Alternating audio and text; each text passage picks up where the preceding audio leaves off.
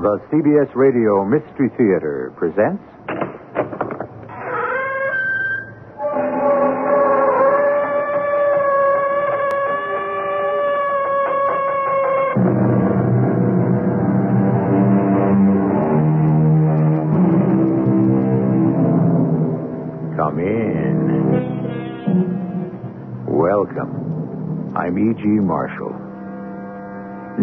Time you go to the theater to see a new play, ask the person sitting next to you who wrote it. Chances are he won't know. Oh, he'll know who's starring in it, and probably he'll know what the critics had to say about it.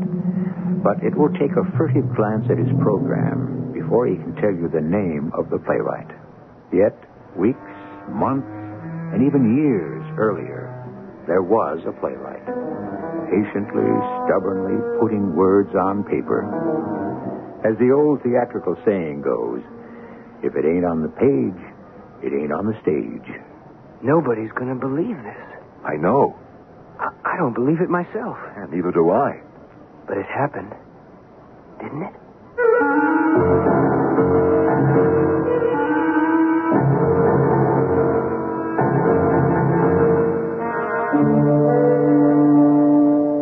Mystery drama, The Imposter, was written especially for the Mystery Theater by Elspeth Eric and stars Don Scardino and Norman Rose. It is sponsored in part by Ex-Lax and Buick Motor Division. I'll be back shortly with Act One.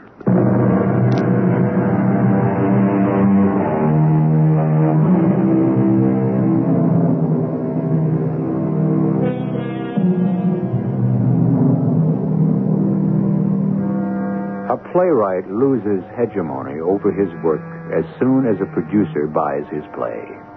The producer hires actors, a director, a designer, a manager, and the playwright, who started the whole thing, becomes a pallid spectator to the feverish activity which begins both in the theater and in the producer's office. It is in just such an office that our story begins.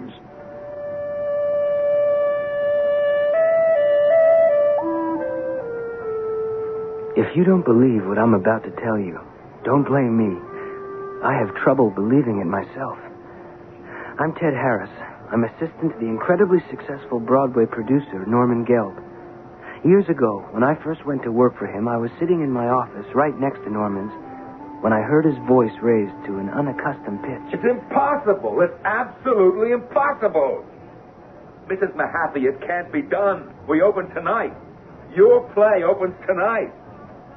Mrs. Mahaffey, there isn't a printer in town who could do it. I'm telling you that. Now, come on in, Ted. Mrs. Mahaffey, you have written a great play. It's going to be a big hit. Don't you understand? No, I can't do this one little thing for you.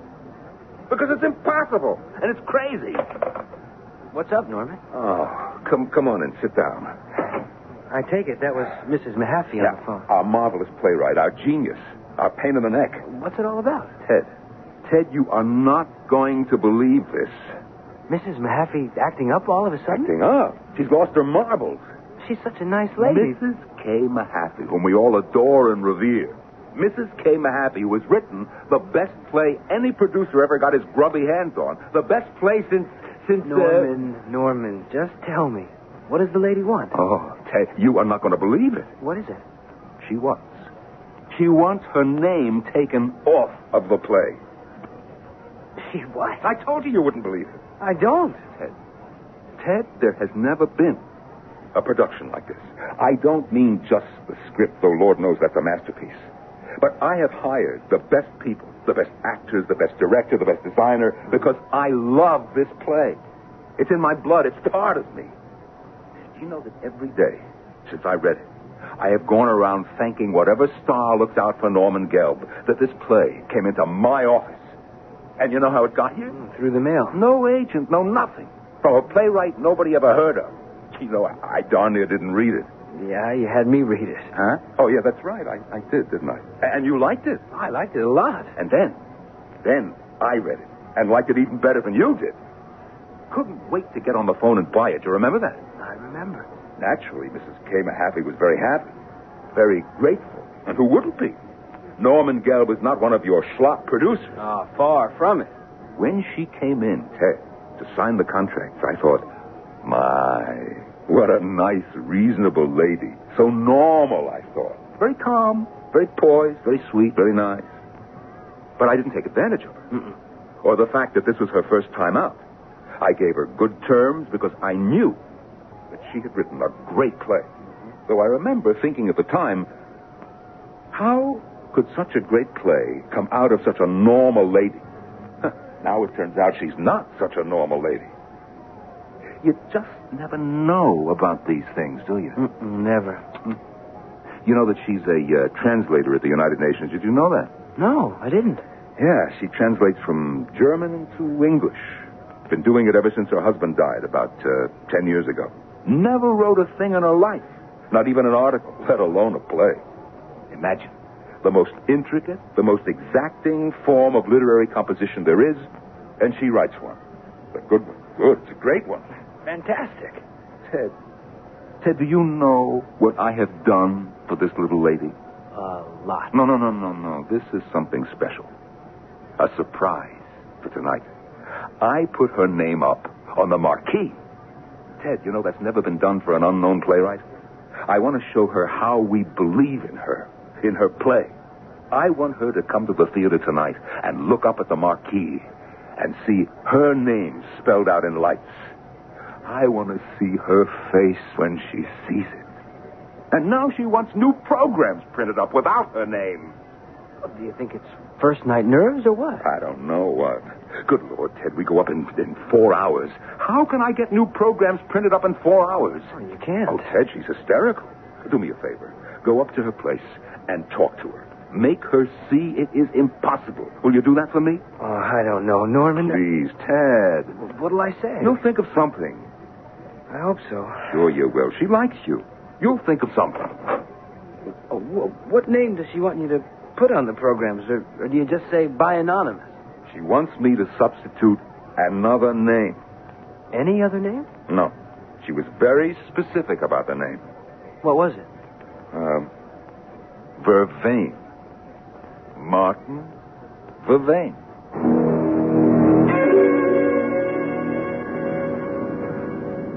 All the way up to Mrs. Mahaffey's apartment building. I tried to think what I could possibly say to this nice, unassuming woman who had suddenly, seemingly, gone slightly mad. I didn't know her awfully well. Most of her contacts had been with Norman. But she and I had always gotten along. When I got to the apartment, I waited a moment and then pushed the button. It was at least a full minute before the door opened, and when it did, it wasn't Mrs. Mahaffey. It was a dumpy little woman I'd seen around the theater a few times. Yes. Uh, is is Mrs. Mahaffey in? Oh, what? I'm afraid she isn't seeing anyone right now. Oh, well, maybe she'd see me. I, Mrs. Mahaffey's play is opening tonight on Broadway. I know. I, I work for Mr. Gelb, the producer. I'm Ted Harris. Mr. Gelb asked me to come up here and talk to her. Oh. Well, in that case, come on in. She might see you if it's about the play. I'm Dorothy Dillingham. I'm a friend of Kay's. Actually, Kay wrote the play at my house. I have a little place up in the Catskills. Oh, is that so? Oh, yes. Well, we're very close, Kay and I. Both being widows. My husband and hers died the same year, within a few months of each other. I've done all I could. I can't do anymore. They won't listen to me. Nobody will listen. Nobody understands. I've tried, but it's no use. No use. That's Kay. She. But she sounds very upset. She's been upset ever since the road tour. Mr. Gelb says she wants her name taken off the program. She does. She's quite determined. But doesn't she know that that's impossible? Well, if she does, it doesn't make any difference. But we open tonight, Mrs. Dillingham. Less than four hours from now. I know. Mr. Gelb said she wanted another name substituted. Martin Vervain. You know about that? Oh, yes. Mrs. Dillingham, on the way over here, it occurred to me does Mrs. Mahaffey think that a man's name would be better for some reason? Because if that's what she thinks, those days are past. It might have been true once. I guess it was. But these days, a woman's name is as good as a man's, maybe better. I know. I know. Well, then, then why was she... Have you done it? Oh, Kay, dear. Uh, Mrs. Mahaffey. Have, have you done it? That's all I want to know, so that I can get some rest. Have you done it, Mr. Harris? Have you removed my name? Mrs. Mahaffey, we open in less than four hours. You can't get new programs printed up in less than four hours. There, there isn't a printer in New York that could do that. Well, have you tried? There's no sense in trying. It, it can't be done. Oh, what am I going to do? Mrs. Mahaffey, you've written a wonderful play. You should be proud. Oh, I'm ruined. I'm ruined. Mr. Gelb has such faith in your play. He's even had your name put up in lights. Light? Light? Well, yes, on the marquee. You know, over the entrance to the theater. It was supposed to be a surprise for you. It's a very unusual honor. He, he thought you'd be so happy. Happy. Happy? I'll, I'll never be happy, happy again. Oh, how can you do this to me? Uh, uh, Mrs. Oh, I'm ruined. I'm ruined for life. Perhaps you'd better go, Mr. Harris. Uh, if, if, if you need me, I'll be at the office. Good. Because I think it's very likely I'm going to need you.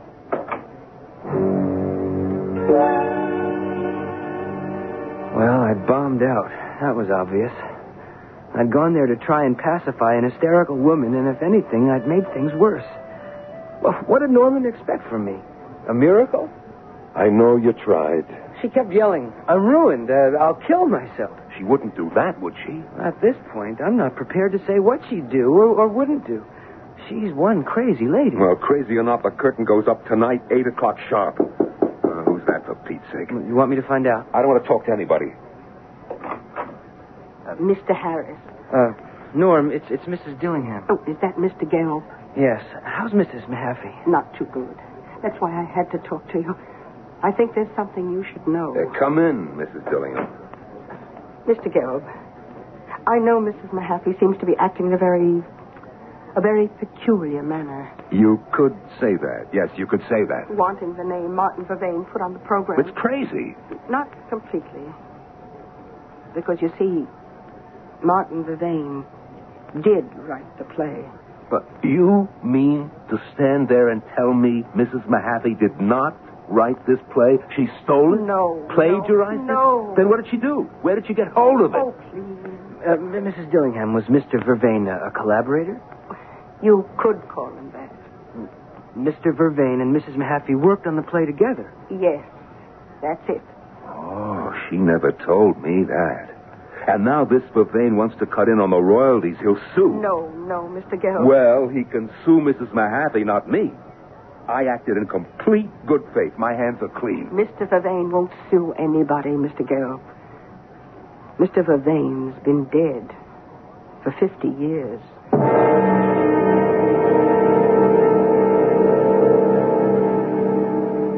People tend to ask writers the oddest things and the tritest. Where do you get your ideas? Do you write every day or just when you feel like it? Do you use a typewriter or put it down in longhand? Do you write in the morning or the afternoon or at night? As though by learning the mechanics, anyone could write. If you've ever tried it, you already know that nothing could be further from the truth. We'll return shortly with Act Two.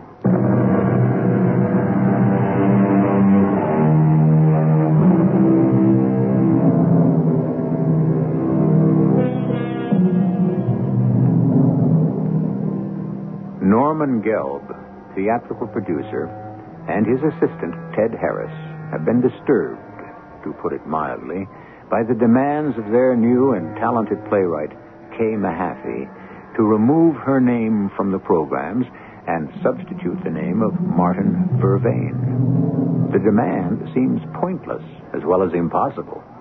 The opening is to take place this very night.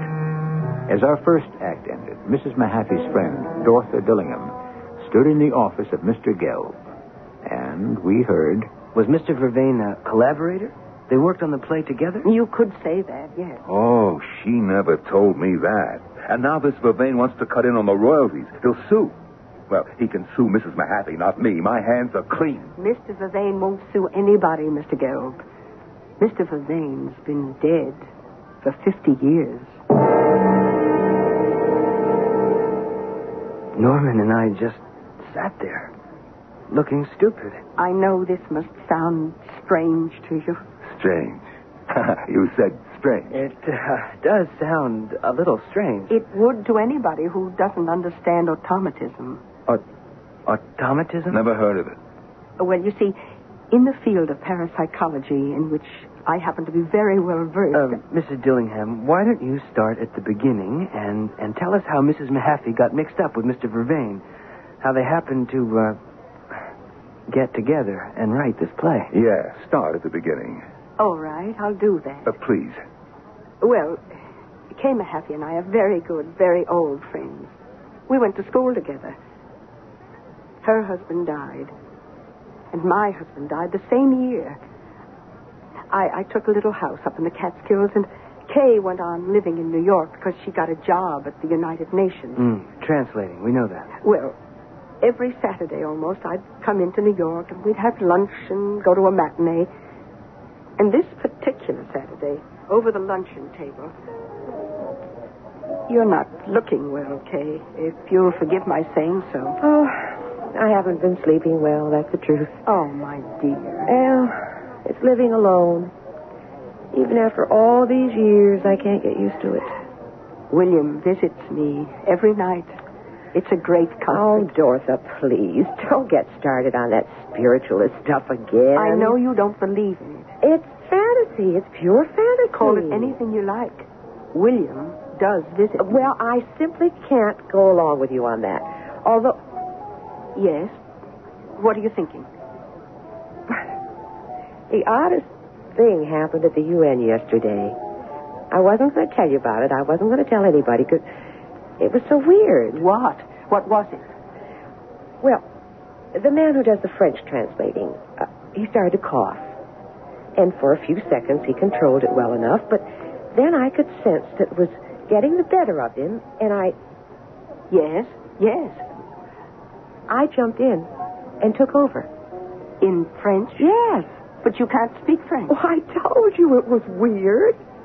Of course, it was only for a sentence or two, but they told me later I was perfectly accurate and my accent was quite good. Kay, you have gifts.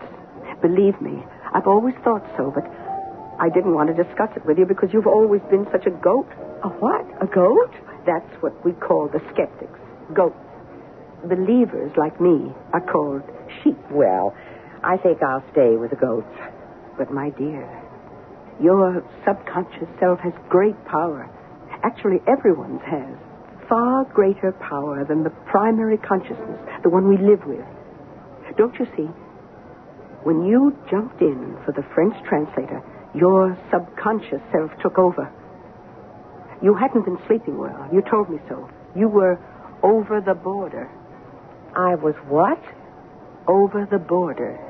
Your incarnate spirit was sufficiently over the border to receive, but still able to control its own supraliminal.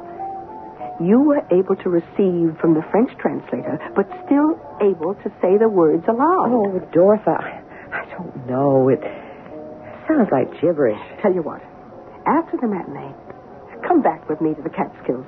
Stay overnight. You need the rest anyway, and we can talk some more.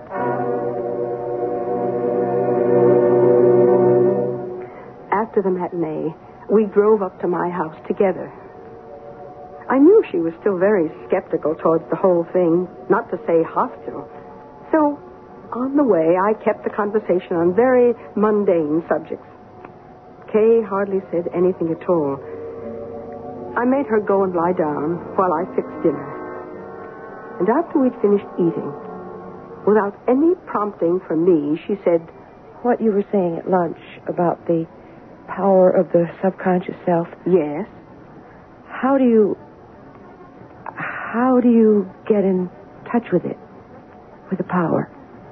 well, there are different ways. I use a Ouija board. A Ouija board? I didn't know they still made those things. Oh, my dear. Everyone who's into parapsychology knows about Ouija Do boards. you have one? Of course I have one. You want to see it? I might look at it. I'll get it. It's right here. What you said at lunch about being over the border, Yes. I don't know if that's what I'm feeling right now. I have an idea it's just the mountain air. How do you feel right now? Sort of, uh, disconnected. Disassociated? I don't know what that means. It could be the beginning of a trance state. It's very odd. Know, I'm not sure I like it. Well, here's the Ouija board. I think my mother had one of those.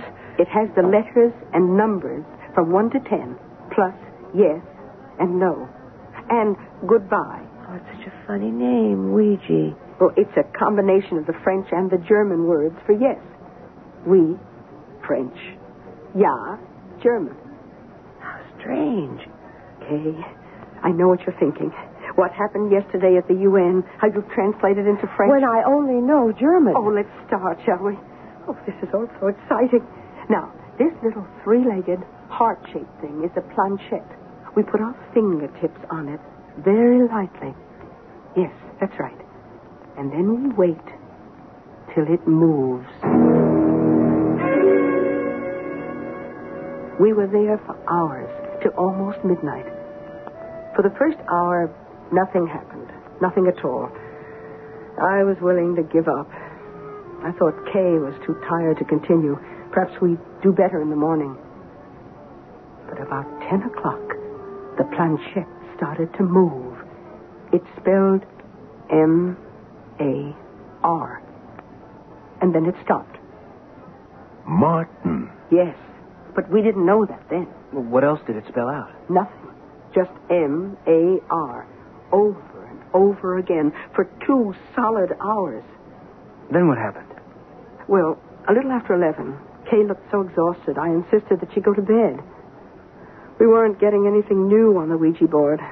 I said we could try again in the morning. So we each went to our own rooms and went to sleep. At least I did. But in the morning, when I went to make breakfast, there was Kay, standing over the table, staring at the Ouija board. Morning, Bright Eyes. Did you sleep well? I didn't sleep at all. Okay. Did you? Like a top? Never woke up once? Are you sure? Well, of course I'm sure. You didn't come into my room whistling? Of course not. Somebody did. Are you sure?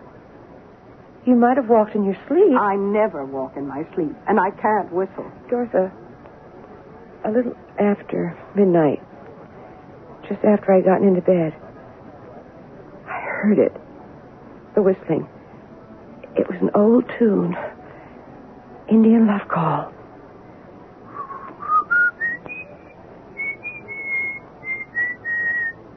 Do you remember that? Yes, I remember. Well, was that all? Just the whistling? I think so. Except I seem to hear someone scolding me. Someone very annoyed and irritable. Okay, let's use the Ouija board again, right this minute. Maybe, just Dorotha. maybe. Do you mind if I use it by myself? Why, no. I have this feeling someone is trying to reach me. If I could just be alone. Of course, I left her alone and went out into the kitchen. But a minute later, I heard it. Very faint, but unmistakable. Well, she could have been whistling it herself, couldn't she? Well, of course, she could have been. Of course she could Well, have. let me tell you what happened next. I took a good long time fixing breakfast. I ate by myself in the kitchen so as not to disturb Kay in the living room. I cleaned up and putted around, and a couple of hours later, I looked up to see Kay standing in the doorway. Dorothy, I know who it is. Who, Kay? The M.A.R. You remember how those letters kept showing up on the Ouija board last night? Yes, just M A R. They are the first letters of the name Martin. Do you know a Martin? Well, this Martin is. Martin Vervain. And you know of Martin Vervain? Well, this Martin Vervain died 50 years ago. Okay. He was an actor. A very great actor, a star.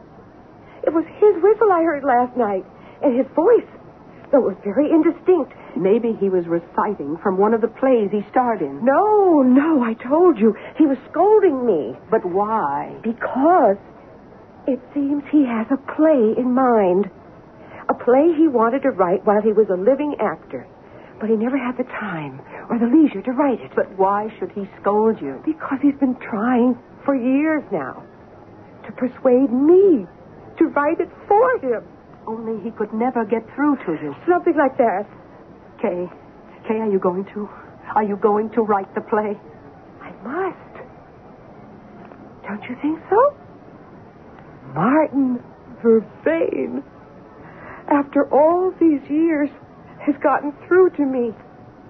Dorotha, I can't let him down.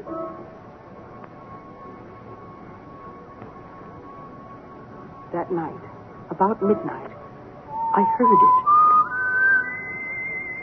I heard the soft creaking of Kay's bed. Heard the door of her room open and close. Heard her go into the living room, pull up a chair. And I knew, I was sure that through the Ouija board, she was receiving the words of the departed actor Martin Vervain. Sure enough, in the morning, I went into the living room, and there was Kay, her face glowing, though she had had no sleep for a day and a half. The first act is finished, Dorotha. All night I worked. It went so fast I could hardly keep up, but the first act is complete. Oh, Dorotha, who would have thought that I, I... Why not you? Why should you not be an automatist?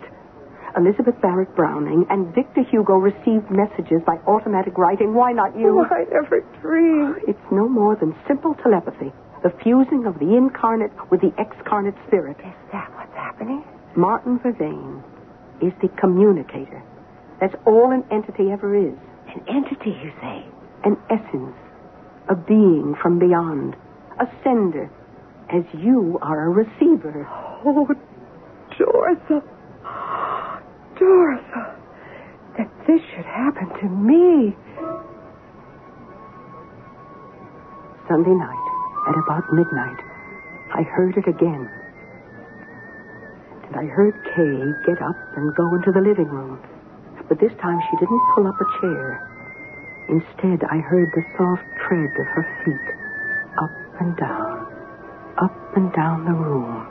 And I heard, even though I could not make out the exact words, I could hear her voice, low, soft, all through the night, her voice declaiming. What was she doing? Why, she was composing the play, of course, as it came to her from Martin Vervain. A play does not get written that way. I know you are one of the goats, Mr. Gill. Oh, oh, what happened next, Mrs. Dillingham? Well, the next day was Monday, and Kay phoned the UN to tell them she wouldn't be in. That, as a matter of fact, she'd have to take off the rest of the week. And every night, about midnight, I heard the whistle, and I'd hear Kay get up and go into the living room. But along about Thursday, I think it was, I didn't hear her voice as I had before. I heard instead, you'll never believe this. I heard a typewriter. Yes, a typewriter. Kay was taking down Martin Vervain's words on a typewriter. It's incredible. I told you you wouldn't believe me. You must admit, Mrs. Dillingham, it's not easy. Oh, no, of course it isn't. The part about the typewriter, I, I found that hard to believe myself. Though I had heard of such a thing a long time ago. Well, the next morning I confronted Kay with it.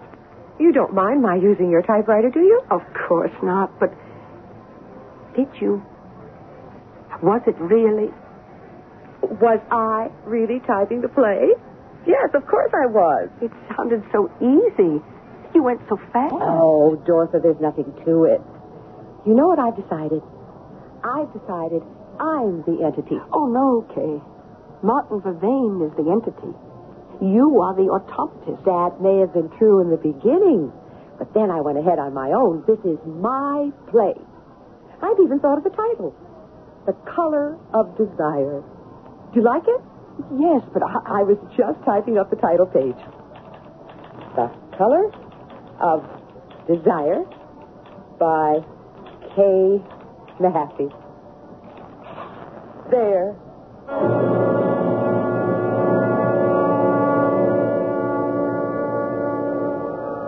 Tell me, John Matthias, someone is supposed to have said to the man who came to be known as St. John of the Cross, tell me, how do you write your beautiful canticles? To which the poet priest, they say, replied, Sometimes God helps me, and sometimes I do it by myself. If the great saint received help from the deity, why should not Kay Mahaffey get help from a deceased actor named Martin Vervain? No reason at all that I can see. We'll continue shortly with Act Three.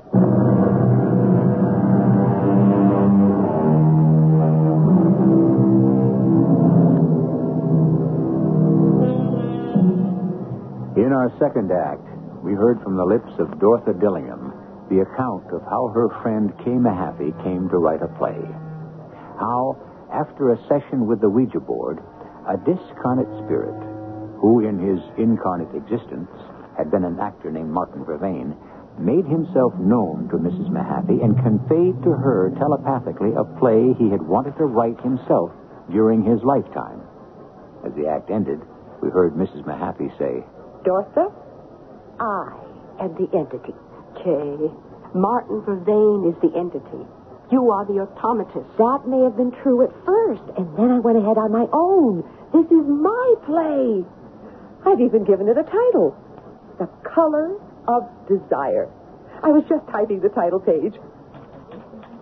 The Color of Desire by Kay Mahaffey. There.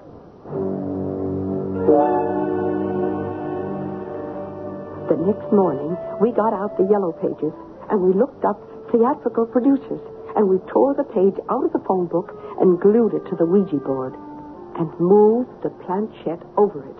And the planchette stopped at the name Norman Gelb. And we gathered up all the pages and put them in a folder and sent them to you.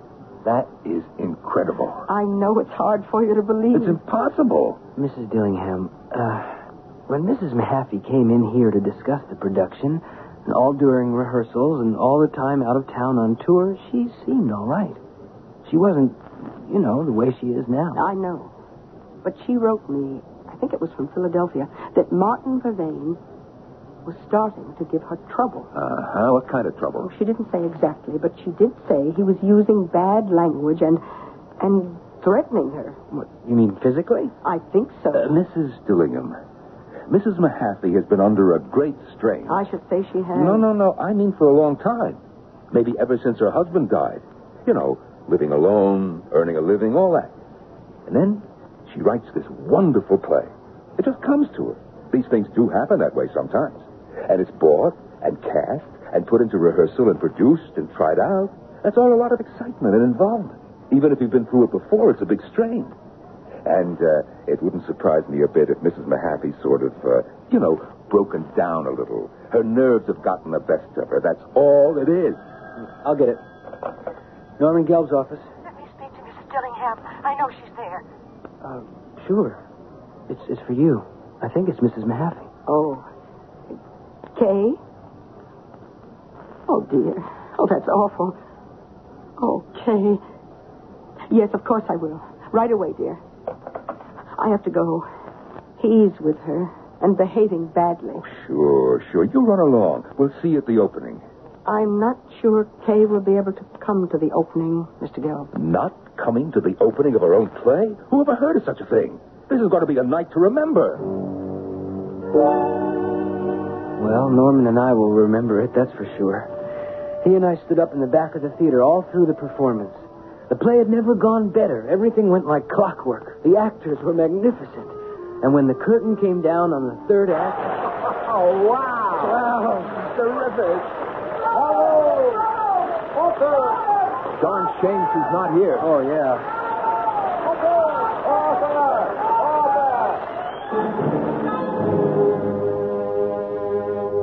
Finally, they stopped applauding. Finally, they emptied the theater. Norm and I sat in the green room, happy and exhausted. Only one thing remained the notices. What would the critics say about the play? It didn't seem possible they wouldn't rave about it. But one thing is sure about the theater you could never be sure. What do you think, Ted? Oh, a smash. Oh, yeah. Oh, can't miss. Yeah. Still, critics are funny people. Yeah. Uh, well, what do you say we go across the street? Okay, uh, where's your coat? Just across the street? I don't need it. Okay, let's go. You know, Ted, it's a funny thing about the theater. One minute it's full of life sound, lights, people. The performance ends, the applause stops, the people leave, and it's silent as death and as dark. Look, even the lights on the marquee are going out. Okay, let's cross the street. Oh, no, no, no. Wait a minute, Ted. What's the matter? You know, I can't stand the idea of Mrs. Mahaffey not being with us when the notices start to come in. I don't want to sit there with just you and my mother. Go on up to Kay's apartment and see if you can't talk her into joining us. Well, why don't you come with me? She'll listen to you better than to me. My mother's over there waiting for us. You go, huh? Okay. Tell her we just have to have her with us, huh, Ted? Tell her it's the big night for all of us. Well, I got a taxi and drove to Kay's place. When the door opened and it wasn't Kay Mahaffey, it was Dorothy Dillingham. And she looked worried. Come in, Mr. Harris. Isn't Mrs. Mahaffey here? She's in the bedroom, but don't go in there. She won't recognize you. Is she sick? Not exactly. The doctor left just before you got here. He says she's all right. She'll come out of it. Come out of what? Well, the doctor said it's a sleep of exhaustion, but I know better. What do you think it is? I think it's deep trance.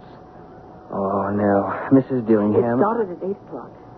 I was in here, and she was in the bedroom. I heard her cry out, Don't, don't, please don't. Mr. Harris, I'm sure he was with her. You mean Martin Vervain. After a while, I went in there, and she was lying on the bed, perfectly quiet. I spoke to her, but she didn't answer me. That's when I called the doctor. I was worried. Well, of course you were. The doctor said he found bruise marks on her body. Oh? You know how I think they got there? Now, Mrs. Dillingham. I know. You're not a believer. No, I'm sure there's a simple explanation for the bruises. That's what the doctor said. But I know better. Mrs. Dillingham, Mr. Gelb and I were very disappointed that neither of you came to the opening. Oh, did it go well? Oh, very well. Very, very well. Oh, excuse me. Hello? Uh, Mr. Harris there? Oh, yes, just a second. For you. Oh, thanks. Hello. Ted, the notices are starting to come in. Radio, TV, Ted, they are sensational, fantastic, out of this world. Oh, well. Tell Mrs. Mahaffey she's got to come down here. Uh, uh, how is she, by the way? Well, I, I haven't seen her yet. Oh, well, tell her this is something she can't miss. Once in a lifetime thing, unforgettable. Marvelous, Norm. I, I'll, I'll do my best here. Don't take no for an answer. I'll see you and make it soon. Yeah, yeah. See you soon, Norman. That was Mr. Gelb. Yes, and he says. Oh, yes, dear. It was Mr. Norman Gelb. Oh, Mr. Gelb? Uh, Mrs. Mahaffey, Mr. Gelb was calling from a restaurant across the street from the theater. The theater where your play opened tonight. Oh, yes. The play. Mrs. Mahaffey, the reviews are starting to come in. Radio, television. Mrs. Mahaffey, they're all great. Oh, I wrote the play. Just as Mr. Vervain told me to. I never corrected or changed a thing. Mrs. Mahaffey, Mr. Gelb wants the three of us to join him. He does? Yes, and, and when you walk in, probably everybody will applaud. For me? Oh, of course for you. How will they know who I am? Well, your picture's been in the papers, and you'll be with me. Kay, let's go. Well, I- I'll get your coat. they'll really applaud. Sure. And we'll sit with Mr. Gelb, and people will stop by the table and congratulate you and tell you how much they liked your play. Oh, it does sound like fun. Oh, it is fun, Mrs. Mahaffey. It's fun like no other fun in the world. Here's your coat, Kay. I've got mine. Ladies, shall we go? In the taxi, I didn't say much. I was secretly pleased with myself. For once, I had succeeded with Mrs. Mahaffey, and I looked forward to watching her take in all the glories, all the splendor of the theatrical world, which too often is grubby and depressing. But tonight, she'd see it with its best foot forward, and she would be thrilled. So far as I know, there's no bigger thrill to be had than the one that comes from a play that's a smash hit. I hope I'm doing the right thing. Of course you are. You just wait and see, Mrs. Mahaffey. It'll be the experience of your life. Will it? You bet it will.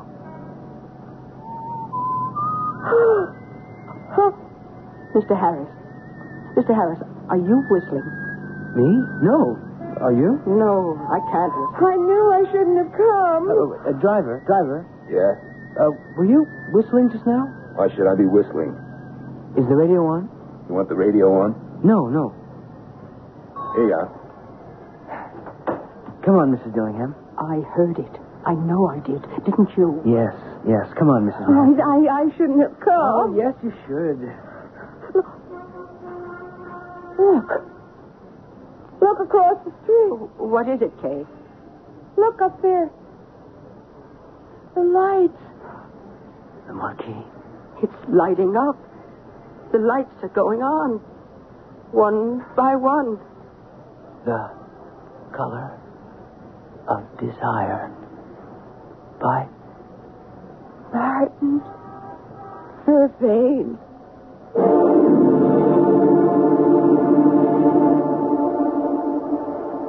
Ted Harris told you at the very start. He said you wouldn't believe it, didn't he? And you don't, do you? I don't blame you. It's a completely incredible story. Do I believe it? Well, I am rather like the White Queen in Alice in Wonderland. I have trained myself to believe three incredible things before breakfast. Once you get the hang of it, it's easy. Try it. You'll discover that half the things you find incredible turn out to be true. Incredible, isn't it?